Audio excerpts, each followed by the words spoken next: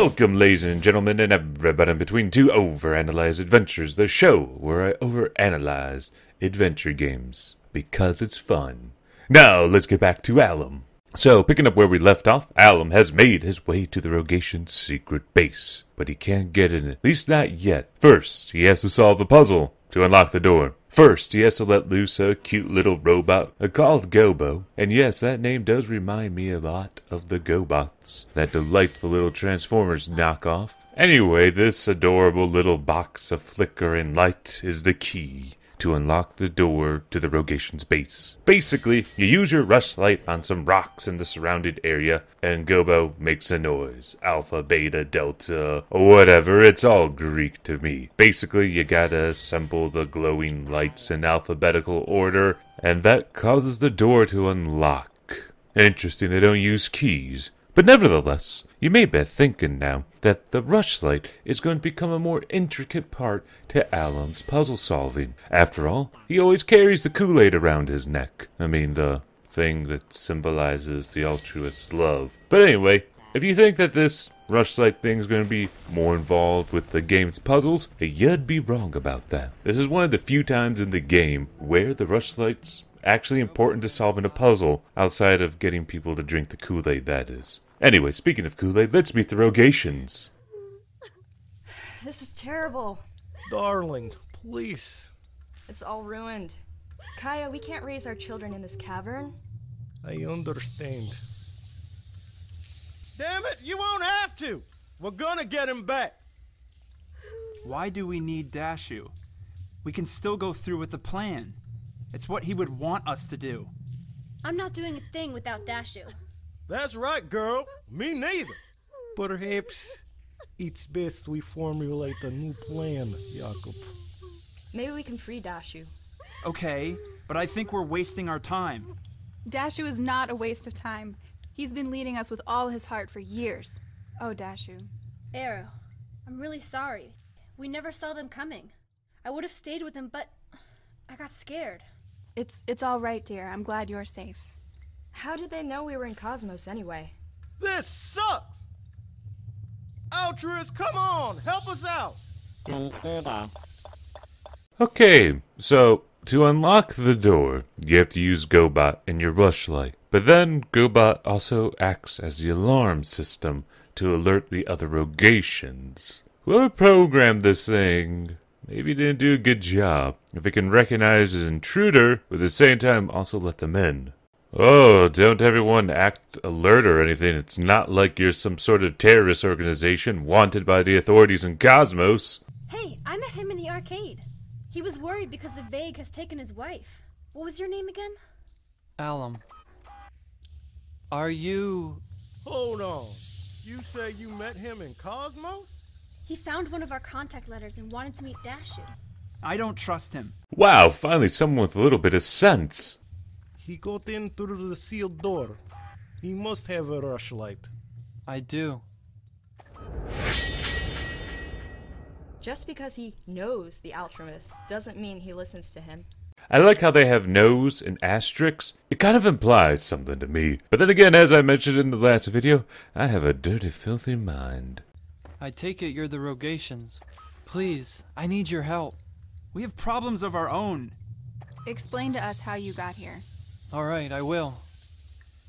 I was off to work, like any other day.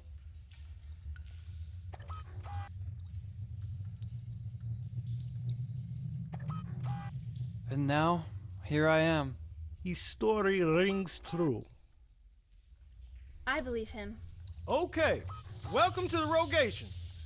Yes, I know, it sounds like I'm beating a dead horse at this point, but I need to remind you guys these guys are a terrorist organization wanted by the authorities in Kosmos. Alum magically shows up. Last time he showed up, their leader Dashu was captured by the authorities. They hear Alum's sad and probably not very plausible story, if he actually tells the truth. Like, seriously, he fell off the walls of the city and didn't die? I mean, these terrorists have no skepticism, no doubt. They blindly believe anything anybody tells them. They might be the most naive terrorists in fiction.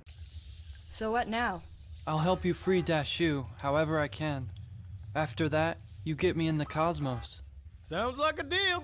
Anyway, now that Alum has been thoroughly vetted by the Rogations, as in he just told him his day, they want him to find some bits to fix a thing they're calling the mole, which is like a car. So there's cars in this universe too. I guess I shouldn't be surprised. There's everything at this point. It's so anachronistic. It's basically a junkyard of genres at this point. But world building aside, this game. well, I still find it incredible that the Rogations are having Alum gather the parts to fix the mole, considering every Rogation beside the Mr. T lookalike is just standing around pouting. They're doing nothing. I have no idea why they can't assemble the parts to get the mole themselves. You'd think if they have such a crush on Dashu that they'd be more involved in his rescue. But no, no, they're just standing around. Don't believe me? Let's take a look at some of them. Are you okay? I'm worried. Worried for the Rogations. Worried for Dashu. Why does Mr. Glim hate the Rogations so much? Alright, finally, we get to know our villain's motivations. Because up till now, it hasn't been really clear why Mr. Glim's doing anything he's doing. Other than Alum meeting with Dashu in the sewer, there's really no motivation for Mr. Glim to really hate Alum, and it's not really clear why he doesn't like the Rogations anyway. So, hopefully the game will finally explain why Mr. Glim is so evil. He is a coward. He wants to control Kosmos, and he's bowing down to the Umbra. You see, the Ebots were Umbra's plan to begin with. It's all a show. Now, I feel obligated to fill you in on who Umbra is, because the game doesn't really do that at all. Basically, Umbra is a little shadow guy that hangs out with Mr. Glim, and I think he's supposed to be Satan. Anytime the invidious Umbra sees that someone is looking for answers, searching for truth, looking for a cure to the vague, he sends his lords to attack them.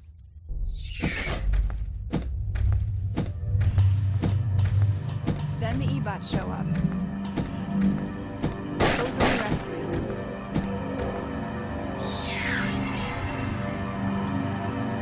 Now their attention should be realigned to see that Mr. Glim is a great leader. Threat neutralized. Thank you. Mr. Glim cares for you. Have a good day, citizen. And that they are safe. Thinking if they were to leave Kosmos, the Lords would kill them. I'm glad that Ebot came along. The Lords are dangerous, but nothing compared to the Vague.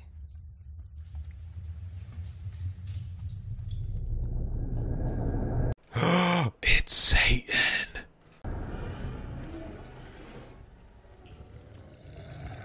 You know, the Lords can't survive around us when we're holding our rushlights. So the Rogations are trying to help free everyone in Kosmos? Exactly. We've been able to sneak in and share our rushlights with people from time to time. But the E-bots are programmed to look for anyone bearing a rushlight. We can't get in, and everyone is too afraid to leave.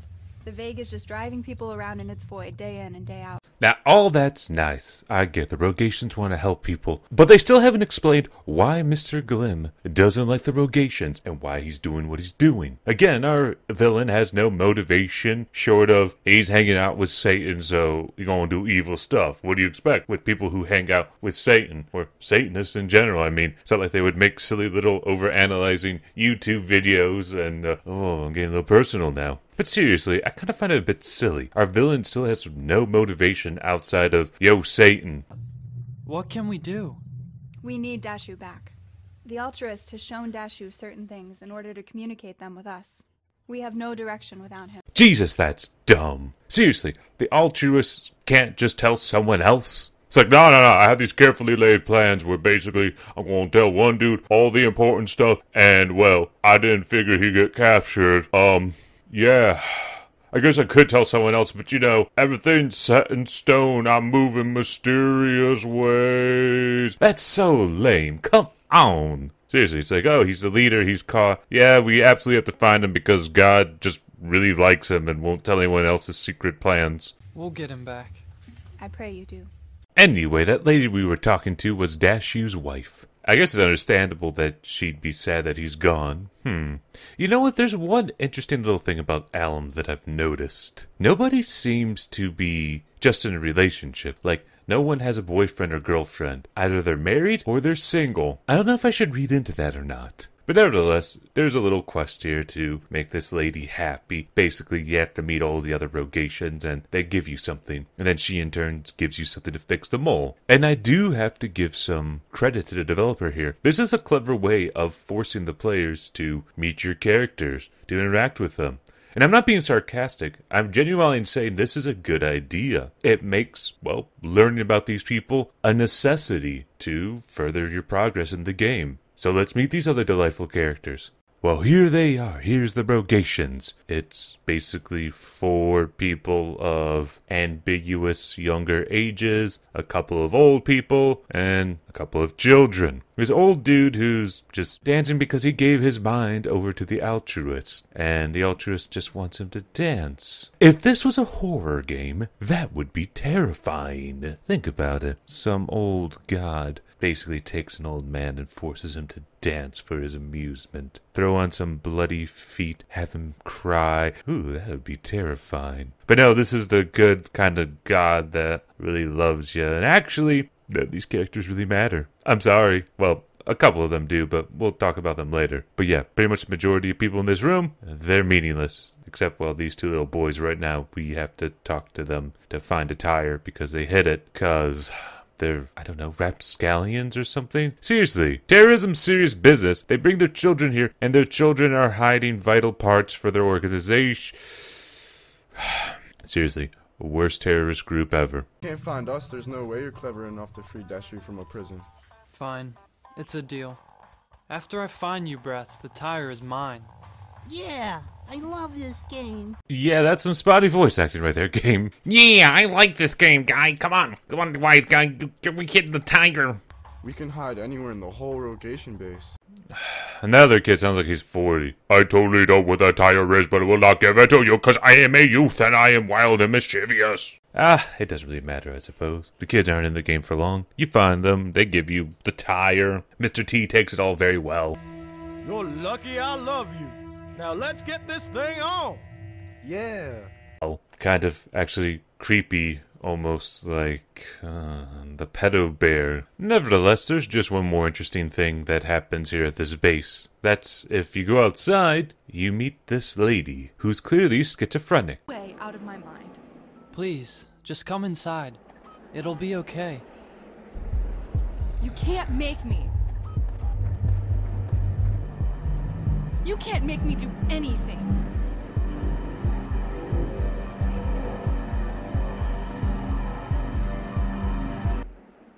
What was that all about? Her name is Tangler. She has been listening to strange voices. Strange voices? Yes, ever since she was used by a man from Outer Tide. He lied to her and broke her heart. Her spirit is vexed, and a double mind has made its way into her life. Can you help her? She stopped listening to me. Now, the game never really goes into details about what happened with Tangler, but I'm assuming it was something very traumatic. Now, I suppose it's open to interpretation, but it must have been something pretty damn serious, because obviously this woman's in a very bad mental state. And it's interesting, too, how the altruist He's very dismissive. He's like, yeah, her spirit's vexed. She's got a double mind. Oh, it really makes me feel bad. And yeah, she stopped listening to me, but I won't do anything about it because, you know, communication's important in any relationship. Why should I be the one to make the effort of fixing her, considering she doesn't want to talk to me anymore? You know, I'm just saying, like, it's all about me, basically. I mean, the altruist is a very selfish and very passive being. He doesn't seem proactive at all. He's like, hey, you're not focusing enough attention on me? Well, screw you. You go crazy. I'll be over here and feel sad about it, but you know, hands are tied. You don't want to talk to me. Yeah, I'm not sure if I like this character of the altruist at all. Anyway, we reached the point in the game where Alum's assembled enough of the materials to make the mole work. And you know what the Rogations do? Of course, they just give Alum the mole to save Dashu, their leader. None of the other Rogations come with him because they just blindly trust Alum. I really can't understand this at all. It's not like Alum's a race car driver, a special ops dude. It's not like Alum has any special skills at all. I suppose he's motivated because he has to save his wife, but every member of the Rogations should be motivated to save their leader Dashu. Hell, why didn't they give the keys to Dashu's wife? Jesus. So, let's put ourselves in the shoes of the Rogations. Your leader is captured. He's imprisoned. You have some vehicle designed to rescue him. This random dude shows up. And you're like, wow, golly geez, here's the keys to the mole. Go rescue our leader. We'll just hang out here in our secret base and do nothing. We'll just stand around, being passive, taking after the altruist. Really, there's absolutely no reason explained why none of the rogations are doing anything. I mean, not even like an offhanded answer like, oh, we're fiddling around with computers and handling the technical specs, or, oh no, we all need to be here because the e-bots are swarming. Gosh darn it, everyone man your stations. We gotta hack into their mainframes to distract them. Oh no, we can't go out and save Dashu. Alum, we need you. We beseech you, save Dashu. The rest of us are too busy. But no, that's not the case. They're just existing, hanging out, talking about how awesome the altruist is. I mean, seriously, it seems like the only reason, the only logical reason anyway, that they're giving Alum the mole and telling him to rescue Dashu is because he must have a big ass sign above his head that says, Hero of this universe, please just give him free reign to everything. Because there's no logical reason for any of this. It's downright absurd. Maybe it would make some modicum of sense if one of the Rogations tagged along with him, but no, they just give him the mole and expect him to rescue their leader, and oh my god, I. Anyway, you break Dashu out of prison. I'm not going to explain how you have to do it because it's kind of silly. Basically, you have to destroy a couple of robots in convoluted adventure game ways. And then you make your way back to the base, and well, something really interesting happens. I remember you from Kosmos. What are you doing here? I'm here to get you out. I have to get back to the Rogations. Mr. Glim is planning something terrible. That's where we're headed. Let's go.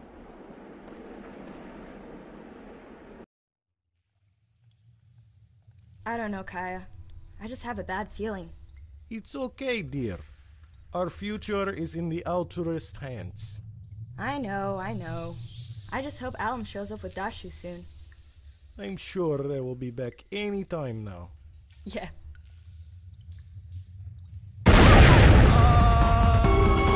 Wow, that was incredible. I mean, that dude who just died, the little Russian dude, that's that lady's husband. She just watched her husband get exploded.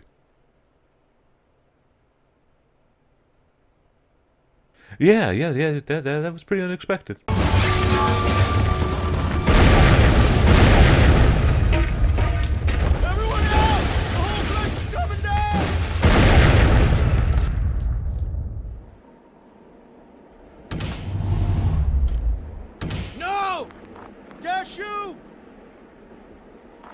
Happened? The whole place was wild with explosives. You know, not to make light of such a traumatic and difficult event, I mean, a bunch of characters died that we were just introduced to, who we know nothing about, except they were rogations, so they're the good guys, and, well, now they're dead. But seriously, all these rogations were doing was just milling about. You'd think one of them would have noticed the explosives, but then again, they had the most lax security of probably any terrorist group in fiction. I mean, honestly, I'm surprised someone didn't blow them up sooner.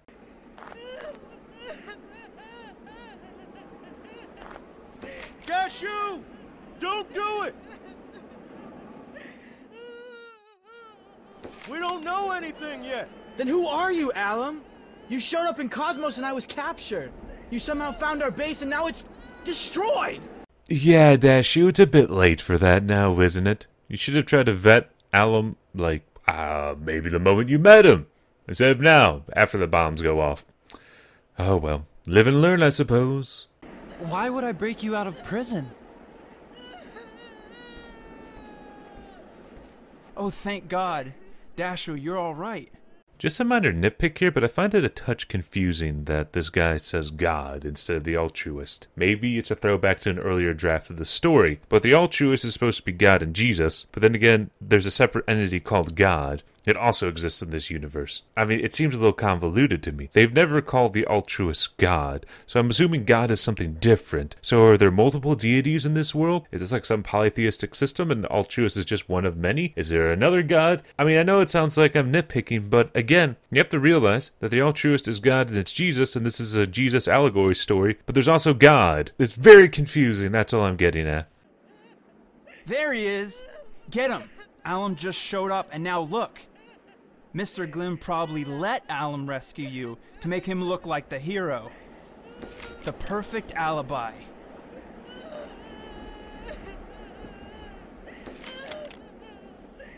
What if he does just want to help his wife? Don't get sentimental, Dashu. He's dangerous.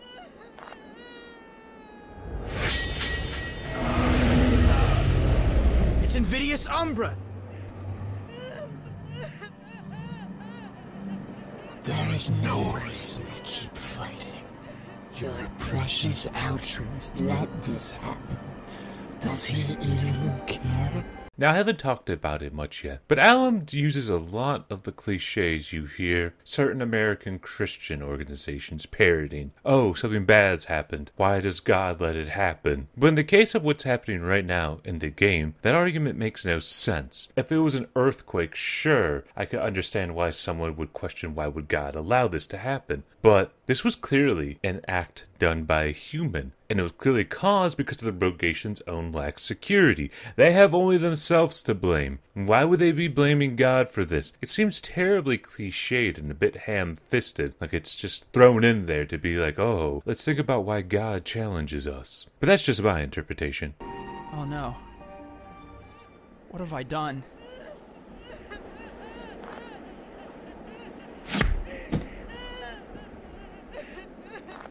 Could we have been so blind? Did we not listen close enough to the altruist?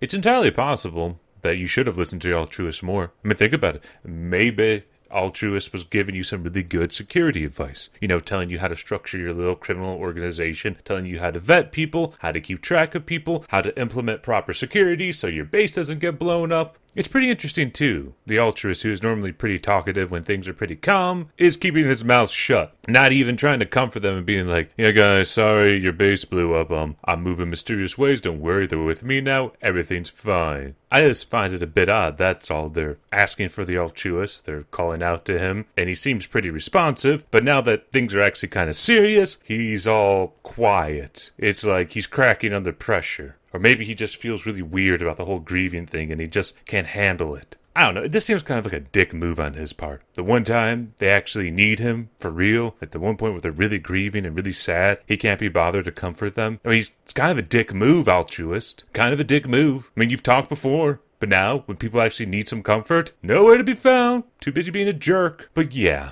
it's very interesting that our characters now are having a little bit of a crisis of faith. It will pass, of course this is a Christian parable. They'll be like, oh, why God? And then they'll be like, ah, we'll just believe harder and everything will work out. I mean, that's essentially the message here. Our loved ones have been taken home, absent from us, but present with the altruist. They're being satisfied and loved in a greater way than any of us have ever experienced. Dirty mind again. Dirty mind again.